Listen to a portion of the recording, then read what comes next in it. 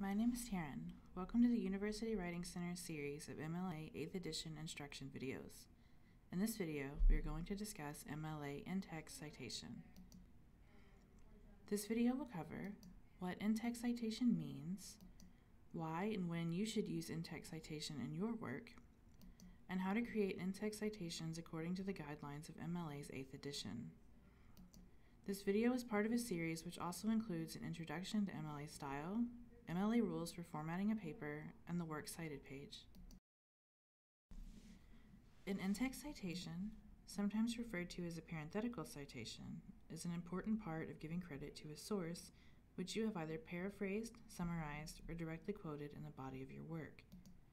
These are brief citations, usually consisting of the last name of the author and a page number, which are placed in parentheses in the text. In-text citations correspond to matching sources on your Works Cited page, which is discussed in another video in this series. While every citation style has its own in-text citation guidelines, this video will cover only MLA, which is typically used in the humanities.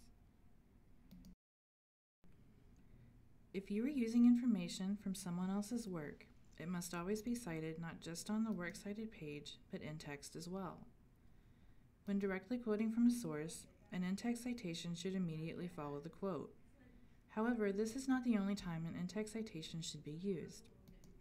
When paraphrasing a source, which means restating a specific passage or idea in your own words, an in-text citation should be used at the end of the paraphrase.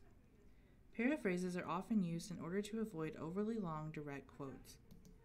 In addition, when summarizing someone else's work, that is, restating the main idea or ideas of an author's work, it is still essential that an in-text citation be included. In general, there are two ways you can craft sentences using in-text citations. First, you may choose not to use the author's name in the sentence. This is common in MLA, and if you choose not to use the author's name, your in-text citation must include the last name of the author and a page number if you have one available.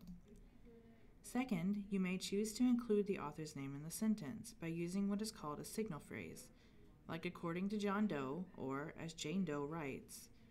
A signal phrase indicates that you are pulling this information from a source, and your in-text citation will then only include a page number. When creating an in-text citation, it is important to consider the type of source you were using.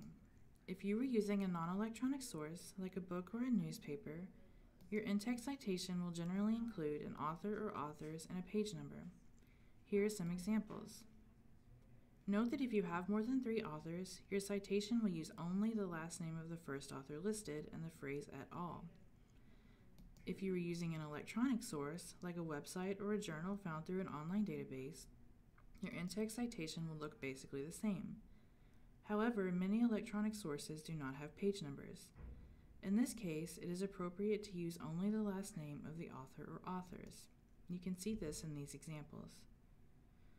Some sources, particularly websites, may not have listed authors. It is still required that you cite this in text, and it is also expected that you will ensure that you are using a credible source.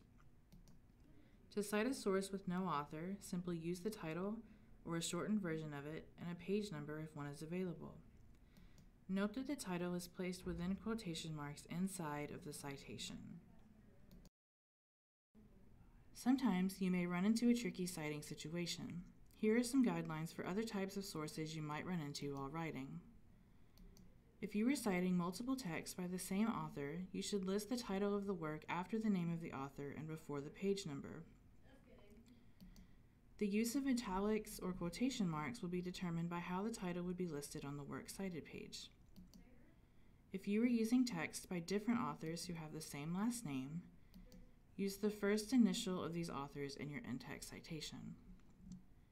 Sometimes you may find a quote in an article that came from elsewhere.